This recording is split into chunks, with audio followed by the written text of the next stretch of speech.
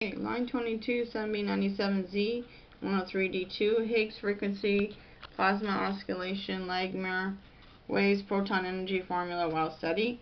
There's the alien radio signal.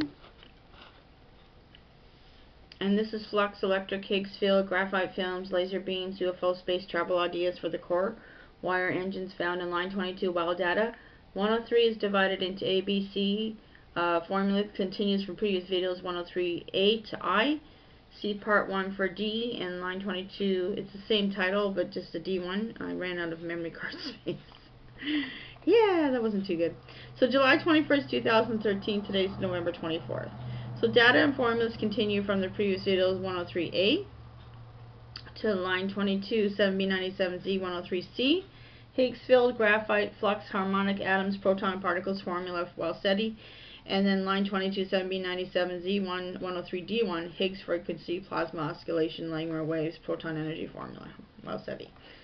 Light with angular frequency below the plasma frequency will be totally reflected. Above the plasma frequency, the light waves can penetrate the sample.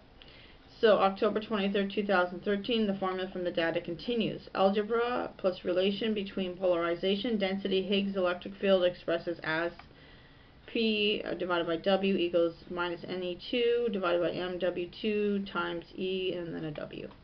Frequency dependent dielectric function of solid graphite film plus E times W equals 1 minus Ne2 divided by EOMW2. At resonance frequency, WP called cooled plasma, cooled rubidium atoms. Plasma frequency. Dielectric function changes sign from negative to positive and real part of dielectric function drops to zero. Mine symbol for zero is uh, 5.8783279E6. And then there's a math equation of WP equals square root of Ne2 divided by EOM. This is a plasma oscillation Google. Quote from Wiki. The plasma oscillations known as Langmuir waves are after Irving Langmuir are rapid oscillations of electron density in conducting media such as plasmas or metals. October 23rd, my thoughts. Plasma oscillations, Langmuir waves, rapid oscillations, rotations of particles as they collide with one another, creating electron density. Google another video.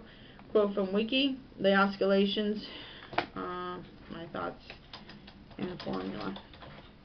Quote from Wiki, the oscillations can be described as an instability in the dielectric function of a free electron gas. The frequency only depends weakly on the wavelength of the oscillation. The quasi-particle resulting from the quantization of these oscillations is plasmon. Langmuir waves were discovered by American physicists Irving Langmuir and Louis Tonks in the 1920s. They are parallel and form to Jeans instability waves, which are caused by gravitational instabilities in a static medium. The keyword free electron model and Dana's formulas continues in the next video. Thanks for watching.